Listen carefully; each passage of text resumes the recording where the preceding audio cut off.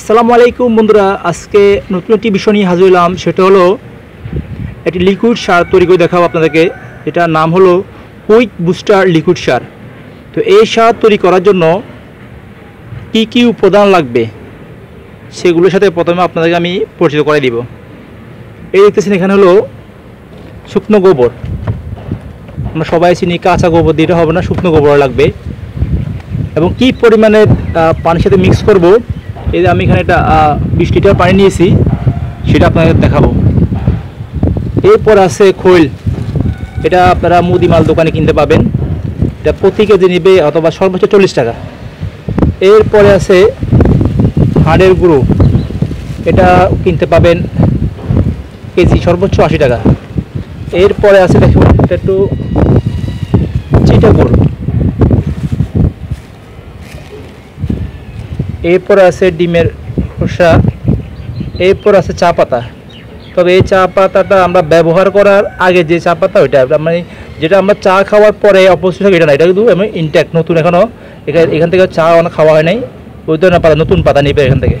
এরপরে আছে কলার খোসা। এখন আমি পরিমাণটা দেখাবো।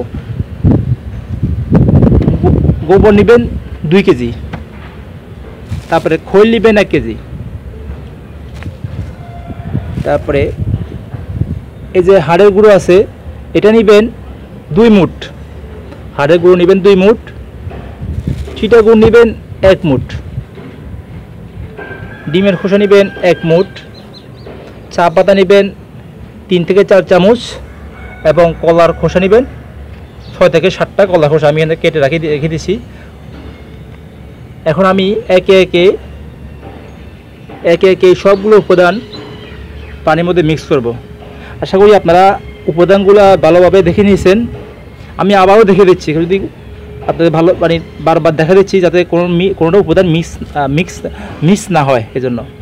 গোবর দুই কেজি, খৈল এক কেজি, হাড়ের গুঁড়ো দুই মুঠ, চিটাগুড় এক মুঠ।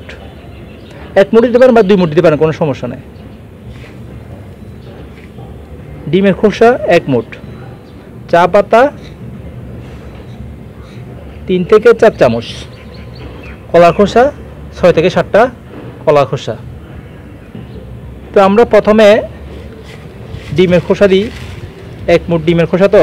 দেখেন আপনার আমার মুঠে এক মুঠ। ডিমের খোসা দিচ্ছি। আমি এই দেখতেছেন এটা এটা হলো একটা বিশ লিটারের বালতি। এই বিশ লিটারের বালতির মধ্যে আমি পানি নিয়েছি বিশ লিটার। এটা দিয়ে দিলাম।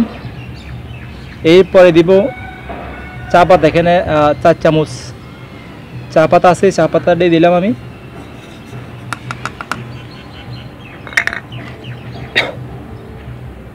এরপরে আমার মুঠের দুই মুঠ। এক মুঠ।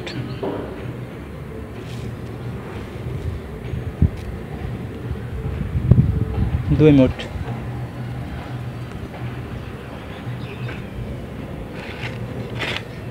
এরপরে কলার খোসাগুলো দিয়ে দিচ্ছি। বন্ধুরা এরপরে দেখেন চিটাগুড় দিব আমি চিটাগুড়টা একটু হাতের মধ্যে লেগে যাচ্ছে, কোনো সমস্যা নাই। এই চিটাগুড়টা দিয়ে দিচ্ছি। এটা সেম ধরার সাথে সাথে হাতের মধ্যে লাগে গেছে।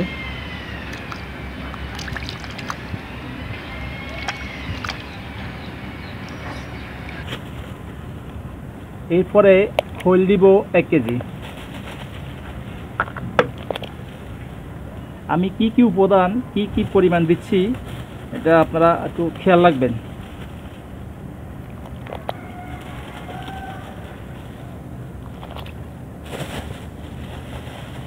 এক কেজি পরিমাণে খোল।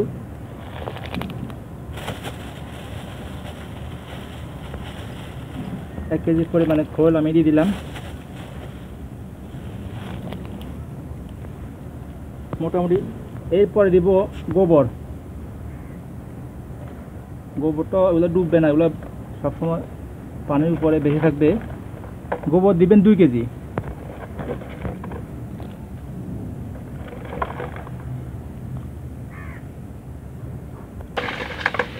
বন্ধুরা, আমি দুই কেজি গোবর এখানে মিক্স করতেছি।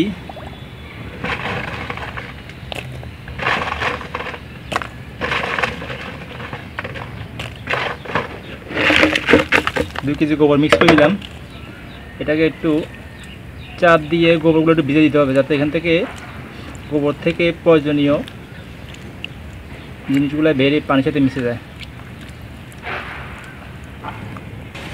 এরপরে একটা লাঠি দিয়ে এটা ভালোভাবে নিচে যে আমি চিটা গুড় চিটা গুড় দিচ্ছি আপনার হাড়ের গুঁড়ো দিচ্ছি এগুলো বসে আছে, ভালোভাবে একটু নেড়ে দেবেন, যাতে চিটা গুড়টা পানির সাথে মিশে যায়।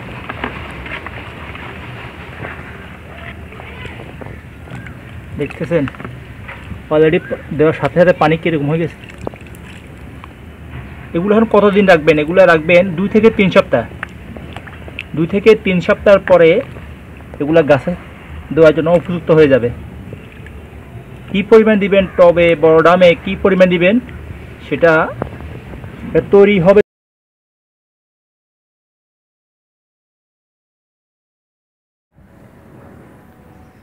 বন্ধুরা আজকে তিন সপ্তাহ পর আমার যে লিকুইড সারটা তৈরি করছিলাম, এটা মোটামুটি প্রস্তুত। দেখুন আমরা এখন দেখব এটার, আর কি অবস্থা। মানে তিন শত একুশ একুশ দিন পর। দেখুন অনেকটা পোকা হয়ে গেছে এবং খুব দুর্গন্ধ বের হচ্ছে একুশ দিন পচার পর। একটু দুর্গন্ধ লাগবে স্বাভাবিক। যেহেতু এটা অনেকগুলো উপাদান এটার মধ্যে দেওয়া হয়েছে, এগুলো পচলে এখান থেকে একটু গন্ধ বের হবে, একটু আপনারা ওটা একটু সহ্য করতে হবে, দেখেন পোকা। এখন আমি এগুলো মিক্স করব, কি পরিমাণে পানির সাথে মিক্স করব সেটাই আপনাকে দেখাবো। দেখতেছেন পোকা।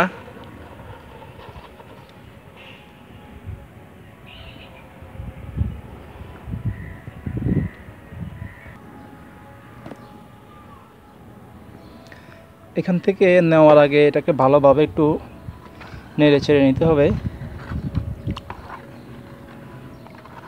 সবগুলো মিক্স হয়ে, এই জন্য খুব ভালোভাবে এটা নেড়ে ছেড়ে নিচ্ছি আমি।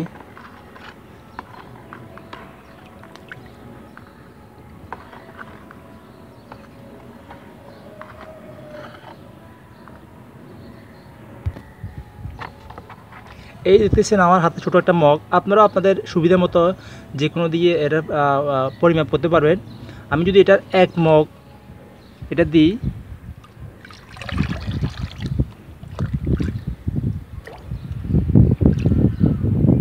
এবার আমি এখানে এক মগ নিলাম। এই এক মগের সাথে আমি দশ মগ পানি মিশাবো। আমি আরেক মগ নিয়ে নিলাম।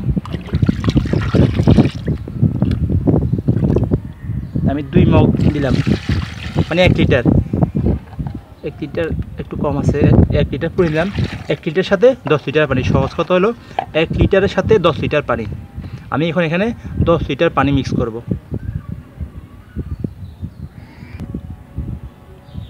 এই যে আমি একটা এক লিটারের বোতল নিয়েছি। এই বোতলে মেপে মেপে দশ লিটার পানি পরিমাপ করে নেবেন। আমি ঠিক এভাবে নিচ্ছি, আপনারাও এভাবে নেবেন।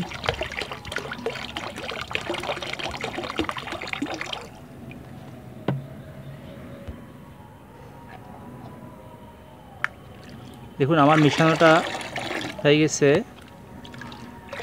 তৈরির, এটা এখন গাছে দেওয়ার জন্য প্রস্তুত।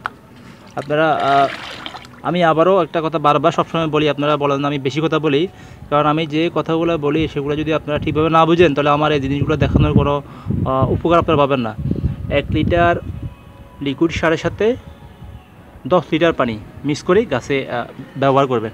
এখন এই যে দেখেন, বারো ইঞ্চি টব, এই টবে আমি আমার এই মগে এক মগ দিয়ে দিব।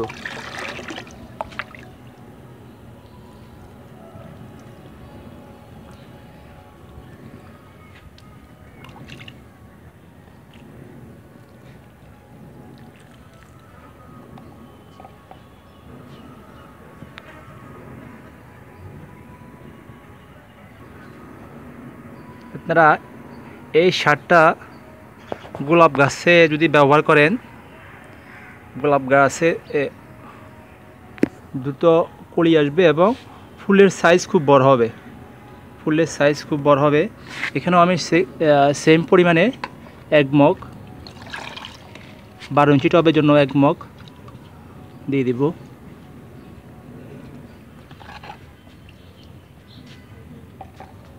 এখন দেখাবো বড় ড্রামের জন্য কী পরিমাণে ব্যবহার করবেন।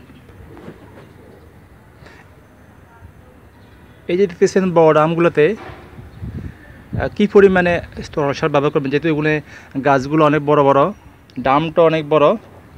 এই জন্য আমি এখানে তিন মগ ব্যবহার করব। দেড় লিটার থেকে একটু কম, তিন মগে ব্যবহার করব আমি এখানে। যেহেতু আমার গাছের ড্রামটাও বড়, গাছের পরিমাণও বড়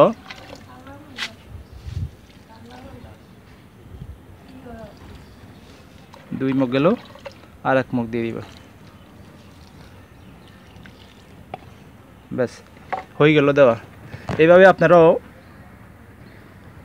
যদি আপনারা এই লিকুইড সারটা ব্যবহার করেন, আশা করি ভালো ফলন পাবেন। ধন্যবাদ সবাইকে আজকে পর্যন্ত। নতুন কোনো ভিডিও নিয়ে আপনার সাথে আবার হাজির হব। ধন্যবাদ সবাইকে।